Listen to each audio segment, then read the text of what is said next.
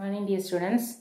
Today we are going to learn a new topic that is the properties of whole numbers. We already learned what is whole number in the last class itself. What is whole number? The number that starts from 0. Okay, so 0, 1, 2, etc. are known as whole numbers. Okay, so today we are going to learn the properties of whole numbers. What are the properties? There are many properties. Okay, first property is closure property. What is the property? Closure property. So closure property, I am going to take addition. Okay, I am going to check the whole numbers are closed under addition or not. Okay, so first the conditions a comma b belongs to w. That means a and b are the two numbers that belongs to whole numbers. Okay. A and B are two numbers that belongs to whole numbers. So for addition, A plus B is equal to C. Okay, the condition is A plus B is equal to C that should belongs to whole number. Okay, A plus B is equal to C that should belongs to whole number. Let's we check a equal to 3, B is equal to 4. Okay, first I am taking A is equal to 3 and B is equal to 4. So let's we check the condition. A plus B is equal to 3 plus 4. So what is the answer? 7. So 3 plus 4 is equal to 7. 7 is a whole number. So it is belongs to W. W that defines whole numbers. Okay. Next I am taking A is equal to 5. Then B is equal to 2. Okay. So A is equal to 5 and B is equal to 2. Let's we check the condition. A plus B. What is the value of A? 5 plus 2 equal to 7. So it is belongs to W. Okay. Then, so the condition, the whole numbers are closed under addition. Okay. Whole numbers are closed under addition. Okay. Next one is multiplication. I am going to take the multiplication number. Let's we check. Multiplication. Let A and B taking the same elements A and B belongs to whole numbers that is W.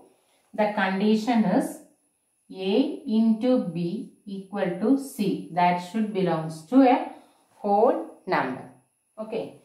So let's recheck. Let A equal to 4, B equal to 3. Okay. Let's recheck. A into B equal to 4 into 3. Then 4 3s are 12. 12 is a whole number. So 12 that belongs to whole number. If you are taking A is equal to 2 and B is equal to 5. So A into B equal to 2 into 5 is equal to 10. That is also a whole number. Okay. So 2 into 5 is equal to 10 belongs to a whole number. Okay. This is the closure property of multiplication. Okay. If we have the answer that belongs to whole numbers that is belongs to W, it means the whole numbers are closed under multiplication. Okay. Is it clear all of you? Okay. Next one is the closure property of subtraction. Closure property of subtraction. Let's we check that. And taking the same elements. A, B belongs to W. Okay.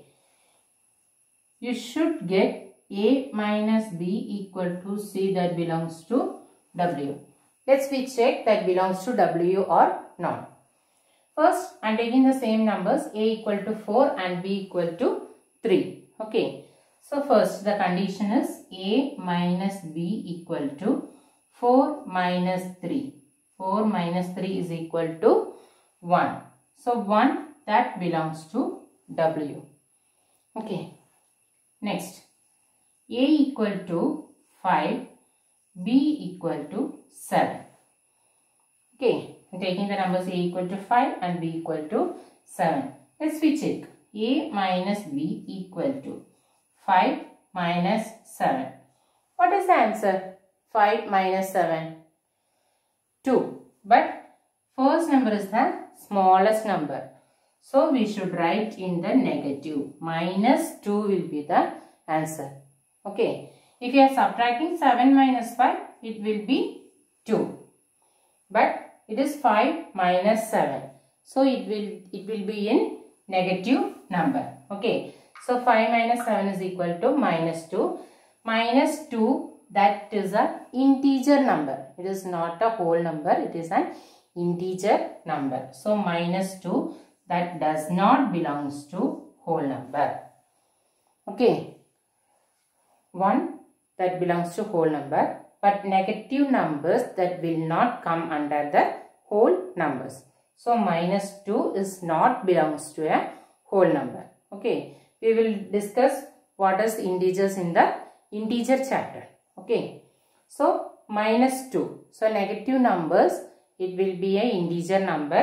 So it does not belongs to a whole number. Okay. Let's we check it for division. Let's we check the same conditions and if it is closed under division or not. Okay. First one if you are taking division.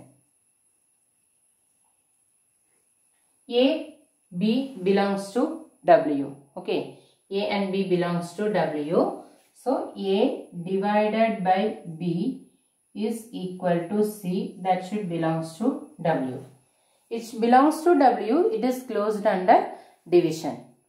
Or it is does not exist, it will be not closed under division. Okay. So, the subtraction is not closed under, uh, sorry, the whole numbers that is not closed under subtraction. Okay. So, A equal to 4 and B equal to 3. So, A divided by B. I am writing like this. Okay. A divided by B is equal to 4 divided by 3. Okay. If you are taking 4 divided by 3, it is not a whole number. While dividing, it will be in the decimal value. Okay. So, it is not a whole number. So, it does not belongs to whole number. Okay. So, it does not belongs to whole number. Therefore, whole numbers are not closed under division. Okay. It is not closed under division. Okay. Only addition and multiplication are closed. Okay. So, the closure property is only applicable for addition and multiplication. Okay. Not for division and subtraction. Okay. These are the four properties. That is closure property four types. Closure property first one is addition that is closed. Okay. Uh, whole numbers are closed under addition. Whole numbers are closed under multiplication. But whole numbers are not closed under subtraction as well as division. Okay. Is it clear all of you? I hope all have understood this. Okay. Okay. Shall we wind up the class? Okay. So, you should revise the properties. Okay. You should learn the properties and the conditions. The conditions is the basic. Okay. It is a simple, uh, easy to get the answer. Okay. Thank you.